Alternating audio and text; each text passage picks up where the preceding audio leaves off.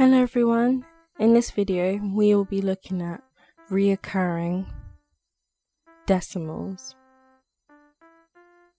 What are reoccurring decimals? They are decimals that have a pattern of numbers which repeat forever. Here are some examples of reoccurring decimals. You will know if they are reoccurring decimals due to the dot which is on top of the numbers to show that this number repeats on forever. The first type of question you could get is convert 4 over 11 to a decimal.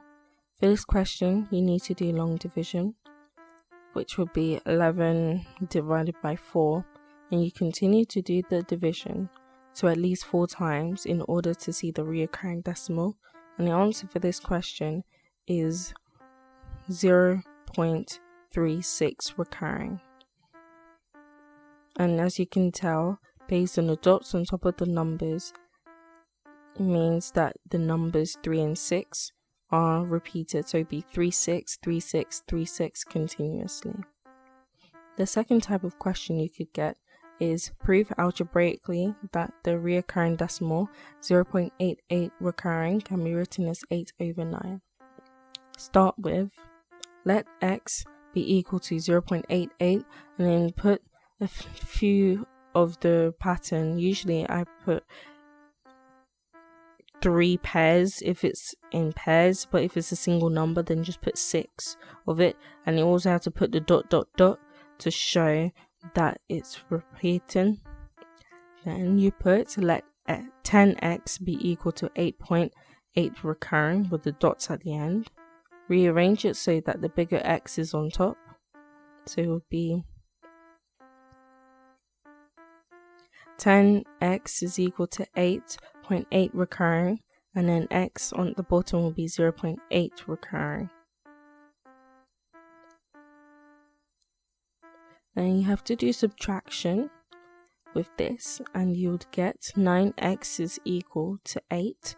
You'll need to get x on its own, so you divide both sides by 9 and you will get 8 over 9. So you could put therefore 0.88 recurring is equal to 8 over 9. Now we're going to look at an exam question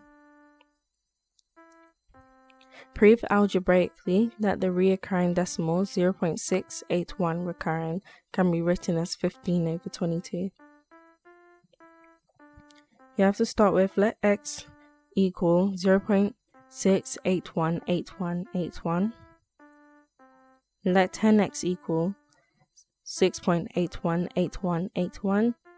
Then let 1000x equal 0 181.818181. You rearrange it so the bigger x is on top. In, in this case, we're going to use 10x and 1000x as the decimal numbers match.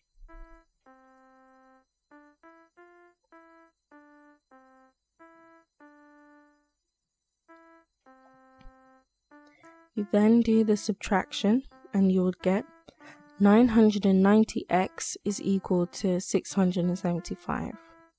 You divide 675 by 990 and then here you'll be able to simplify the fraction to 15 over 22. Therefore, 0.681 recurring is equal to 15 over 22. I hope you found this video useful. Please click on the subscribe and bell buttons for more content from this channel and please feel free to share. Thank you for watching.